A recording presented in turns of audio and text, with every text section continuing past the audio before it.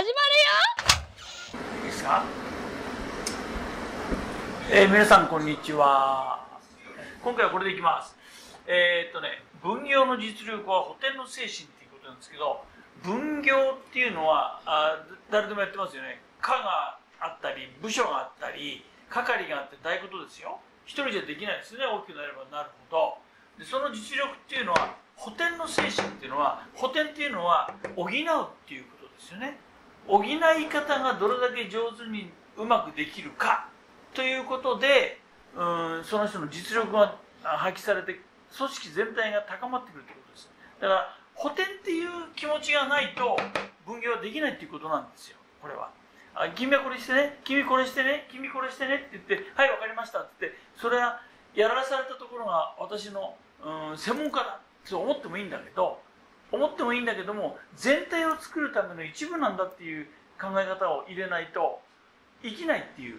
ことですね。でこういうような言葉があるんです。名誉なすに非人これを創造し静粛これを討論し公人私有これを就職し通りの資産これを殉職すということなんです。これどういうことかというとねえー一つの国で命令を出す時命令書あるいは憲法でもいいや。法律でも何でもそういうものを作る時に、えーさあどうしようかって考えた時ね。まあ我々でもいいですよ。何かの組織を立ち上げてその時の、うん社訓とかね命令とか作るわけですよね。その時どうしようかって言ったら一人じゃできないんですこれは。でそれでそれを分業させるんですね。でその時にこれは非人っていうお人の名前です。非人さんっていうのがまず起草した。大体こんなのがいいんじゃないかっていう大体のざっくり系のものを言うのはこの人はとても上手だったらしいですね。こんなんでいきましょうよ。って言うんです。そしたらそれが静粛さんっていうのが「あよし分かった。じゃあ俺に任せろよ」って言ってできたものを何人かでこう叩き上げるんですね。こうやってね討論して。っていうことは静粛さんっていうのはそういうグループを集めるのが上手だったんですよ。いろいろな専門家をあちこち行って集めてきて「これでやろうぜ」って言った。でこの人に任せるんでしょうね。それ出来上がった。そしたら公人私有という人。これ公人っていうのはまあ、えー、なんでしょうね。あちこち行く人っていうのかな。私有っていうのは名前ですよそれを就職するっていうのは出来上がったのも大きなまああの屋台骨みたいなもんですから。そこのところで、えー細かいところをちょんちょんちょんとこれやっぱり考えなきゃいけないですよね、えー現実に合うこの組織に合うように作り変えなきゃいけないんです。ちょんちょんちょんちょんってね。だからこれとこれはやっぱり一緒にやらなきゃいけないんでしょうけどもうんなんて言うんだろうな目的違いますからこれはね、えー討論したら討論した人はどっか行っちゃっていいんですでそれからまたこれを手直しする人がこれやっぱ出てくるわけですよ。これも専門家ですこれは。それぞれの。だから通りの資産これを殉職する。資産って後々有名なあのタイプになりましたけども非常に有名な人なんですけど殉職する。これ何かって言ったらうんとねあの、まあ、色をつけるっていうことなんですけどもうん対外的に出す時に対外的に出す時にどのように解釈されるかわからないわけですよ。この組織っていうのはどういう色をしているのかどういう目的を持っているのかっていうのが分かるようにしなきゃいけないんです。しかも責められないように防御もしなきゃいけない。そういうところっていうのはやっぱり専門家がやらなきゃいけないんですよ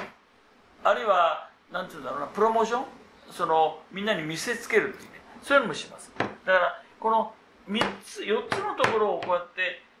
えー見せないとあの通さないと一つの命令ができなかったっていうんですよ。これだから合理的ですよ。時間はかかりますよ。でも合理的です。だから穴はないですね。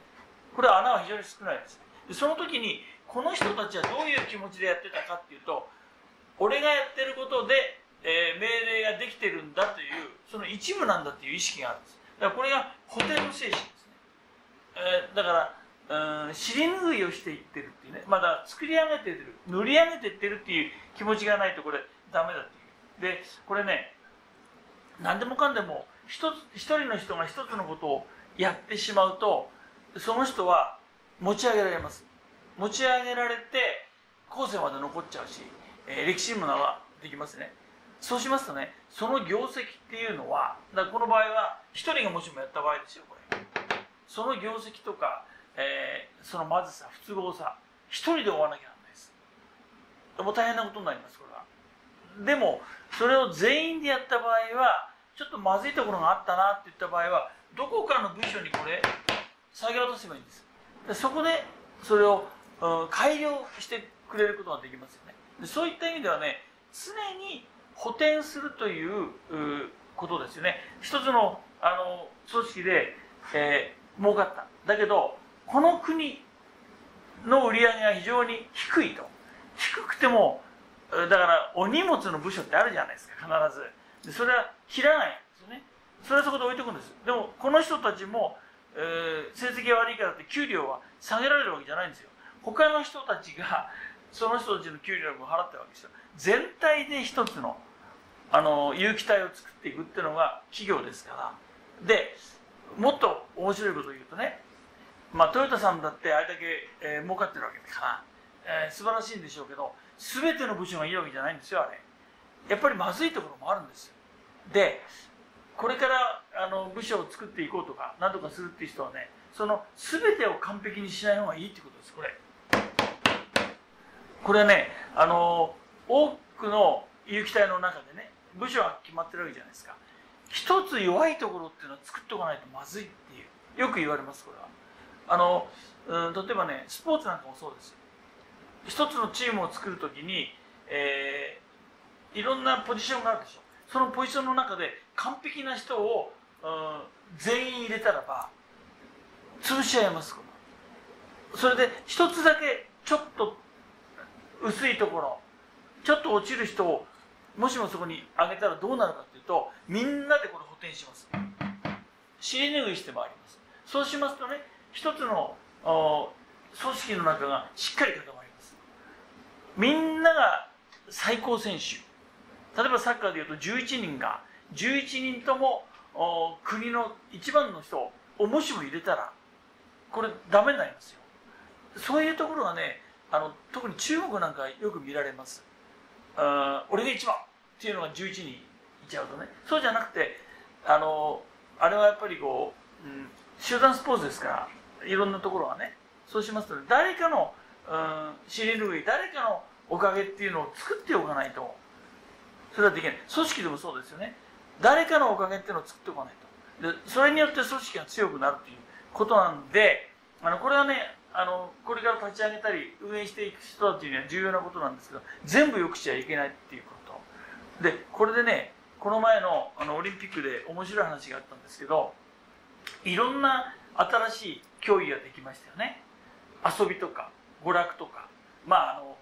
見せるためのねそういう娯楽ができて、えー、くだらなくなったという人もいるんですけどもそういう新しい種目の中で混合っていうのができましたよね。混合ダブルスって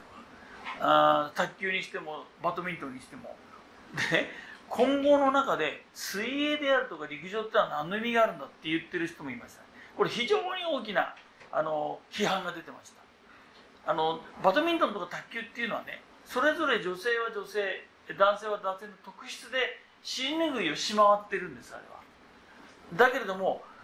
えー、陸上とか水泳っていうのは力が落ちる人が中に入れてるだけでねそれでまあタイムは落ちるんですけどもどこが一番か分からなくなっちゃうんですよ今度は。であれは意味があるのか。だねこういうこと言ってました女性も参加してるんだっていうことを無理やりあそこで意味付けてるという意味があるんだっていうね。そういうこと言ってましたけどもあれはね私もよく考えたんだけどもあのうんとね全体を通して混合ダブルスっていうのをやると一つの競技の中でえー、構成員が男性と女性がいるわけでしょ。でそうしますとねいなければいけないっていうところに敵もいるわけですよ。そういうところにね。あのちょっと落ちる、えー、技量の落ちるとか体力の落ちる人がいるわけでしょ。でそれで補填し合っているというね。そういうところを見せるというね。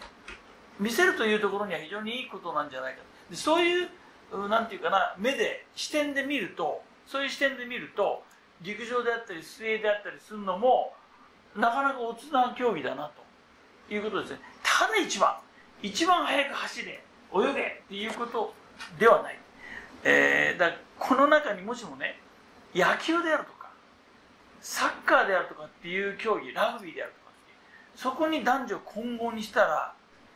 どうなるかってことこれやっぱり議論が必要ですね。あの同じことができないという人を中に入れた場合これもちろんそれ補填というか尻拭いの精神っていうのもあるんですけれども今やってる尻拭いの精神っていうのは敵とぶつからないんですよ。敵とぶつからないともしもサッカーなんかでやったらば女性のところばっかり背の時とかラグビーでも。でそういうことが起こってしまうような競技ではこれは無理かなっていうようなこともありますね。でもやっぱりあの多くのところが組織とか全体が補填尻拭い、えー、でできてるんだということを見せるには、えー、なかなかちょうどいいあの競技だなというような見方で見た方がいいと思いますね。あれも面白いと思います。組織の中も同じですこれは、えー、本日は以上です。